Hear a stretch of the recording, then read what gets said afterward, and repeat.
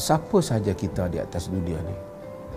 Jadi orang itu orang kaya orang miskin. Hatta jadi orang panggil ulama ke mufti ke. Kita sebenarnya tugasan kita ataupun misi kita sama saja.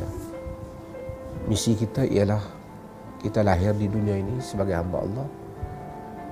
Kita nak beramal dengan apa dan taat kepada apa yang dia suruh dan berusaha dengan kadar kemampuan kita untuk meninggalkan apa yang dia larang. Dan misi kita kita nak kembali ke tempat datuk kita yang dulu iaitulah kembali ke syurga. Itulah misi kita sebenarnya. Dalam menunaikan misi itu Allah jadikan macam-macam kita ni. Ada jadi cikgu ada jadi businessman ada jadi engineer ada jadi isteri orang ada jadi suami orang ada jadi isteri orang kaya ada jadi orang isteri orang miskin ada jadi macam alim ada jadi orang tak apa tahu tapi misinya sama. Allah Subhanahu wa taala tidak discriminate perbedaan-perbedaan yang bukan pilihan kita. Yang mana takdir-takdir yang bukan pilihan kita. Kesemuanya Allah alu-alukan untuk kembali kepadanya di syurga dan jangan tersilap pergi ke neraka. Saya mungkin mampu bercerita macamlah saya uh, dapat uh, mengepalai hal itu. Tapi ia sekadar cerita. Kerana tidak ada beda mufti ke siapa saja di sisi Allah sama saja. Berdiri di hadapan mahkamah qadi rabbul jalil. Tak ada Tuhan kata ni mufti mari duduk elok sikit. Orang biasa pergi duduk biasa tak ada. Semua Allah menilainya berdasarkan kepada amalan saleh mungkin orang yang memakai gelaran-gelaran agama dengan pakaian-pakaian agama dan bahasa-bahasa agama ini dia mungkin lebih jauh daripada Tuhan dibandingkan orang yang kerjanya mungkin sapu sampah di tepi jalan tetapi sentiasa bersyukur dan tahu berterima kasih kepada nikmat Allah Subhanahu wa taala kepada demikian Allah Subhanahu wa taala jadikan perjalanan kita ini kesemuanya menuju ke syurga. Kita akan melalui banyak rakyat Afrika dengan caranya. Bukan orang Melayu je dalam dunia ni. Dulu dengan caranya. Zaman tak ada teknologi no handphone no all these um, devices that apa semua kemodenan alat yang kita ada pada hari ini. Zaman mereka hidup dengan cara mereka. Mereka pun telah menghasilkan. Ada orang hidup di di bawah isteri yang hidup tertekan di bawah suami yang zalim. Ada orang hidup dia mahu kemewahan. Ada orang anak yang lahir di dalam keluarga yang susah. Kesemuanya Allah Subhanahu Wa Taala lebih mengetahui hal-hal keadaan hamba-hambanya. Baru-baru ni siapa yang ikuti ceramah saya dan saya juga sebut dulu. Saya kata saya pernah hadir uh, jemputan uh, sastrawan uh, sastrawan di di Dewan Bahasa untuk membahaskan beberapa novel. Uh, saya sebut bahawasanya hidup ini bukan novel. Ha? novel itu mudah ceritanya penulis itu memainkan bukan salah menjadi penulis tapi seakan penulis itu bagaikan Tuhan yang menentukan watak-watak dan perjalanan watak mematikan watak memenangkan watak mengalahkan watak menyusahkan watak menabalkan watak dan menjatuhkan watak bila kita baca novel mungkin kita sedih seperti mana kita melihat filem dan drama kita kadang-kadang sedih kenapalah akhirnya begitu Padahal itu adalah cerita rekaan manusia. Hidup tidak simplistik seperti mana yang kita sangka di dalam penulisan novel ataupun drama.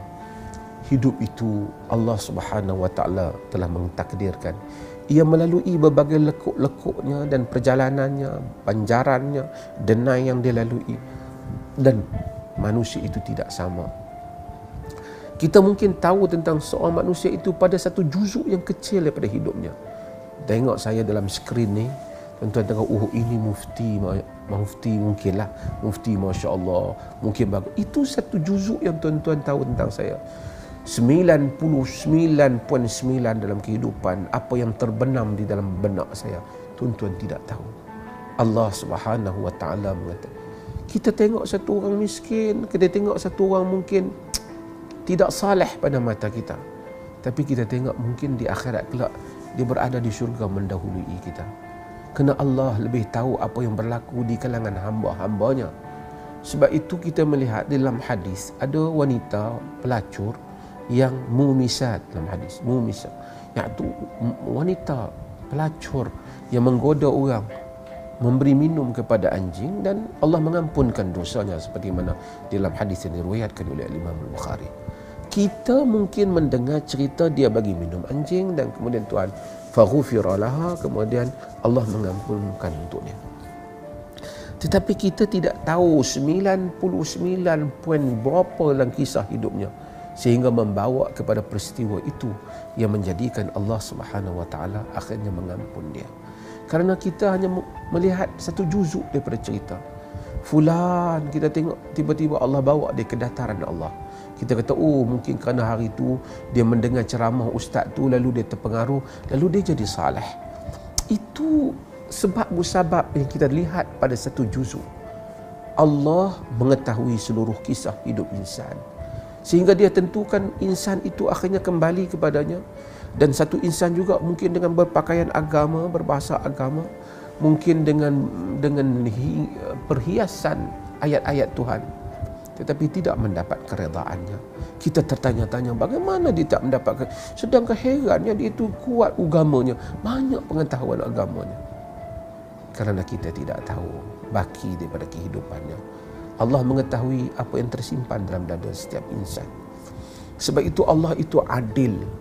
Keadilannya itulah yang maha yang menjadi rahsia kepada alam ini. Maka Nabi sallallahu alaihi wasallam larang untuk kita menghukum fulan dan fulan neraka ataupun syurga. Urusan itu Allah. Kita hanya kata hal itu haram di sisi syarak. Yang ini tidak dibolehkan. Adakah pengamal tu confirm ahli neraka ataupun syurga? Kita tidak tahu urusan ini. Nabi kata man qala halakan nas fahuwa ahlakuhum sesiapa yang menyatakan jahanamlah orang ramai orang dialah yang dahulu yang jahanam kita mungkin berhujah memberitahu, memberi amaran, memberitahu hukum, memberitahu ini salah, itu dosa, perbuatan itu salah, perbuatan dosa. Adakah semua pendosa mesti masuk neraka? Tidak. Semestinya Allah mempunyai rahmatnya. Adakah semua orang yang kelihatannya melakukan pahala mesti masuk syurga? Juga tidak. Kita ketahui kerana Allah mengetahui hakikat semuanya. Sebab itu maka kita lihat orang tak pakai tudung, kita kata dia tak pakai tudung pada perbuatan itu kurang sempurna di sisi agama dia ahli neraka ahli syurga jangan kita melebihi lidah kita lebih daripada itu jangan oh tak kaki tak pakai tudung semua tu ahli neraka la Allah itu bukan urusan kita inilah dakwah sunnah yang sebenarnya saya selalu mengharapkan ustaz-ustaz sunnah itu berbeza dengan ustaz-ustaz yang kalau kadang bukanlah sebahagian berceramah lah berustaz yang lantang benar kadang-kadang mencerca orang lain dan menentukan syurga dan neraka orang lain. Kita tidak wajar demikian. Ya. Karena hadis-hadis Nabi yang kita pelajari tidak mengajar kita yang demikian. Okay, Allah Subhanahu Wa Taala ni tidak memerlukan kita.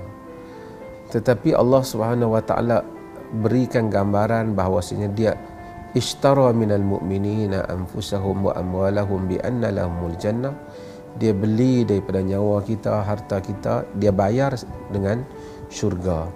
Seolah-olah macam Allah ni perlukan kita, tapi Allah bukan perlu. Maksudnya, Allah tukar apabila hamba tu bagi diri dia, bagi nyawanya untuk mempertahankan agama Allah. Allah kalau kita tak pertahankan agamanya pun, dia tetap mampu mempertahankan agamanya. Tetapi kerana Allah itu nak melihat sesiapakah hambanya yang taat kepadanya, seakan-akan bagaikan Allah itu membeli ataupun Allah itu uh, mengambil nyawa dan harta kita bayaran atas hal itu ialah diberikan kepada kita ialah syurga. Itu maksud daripada ayat itu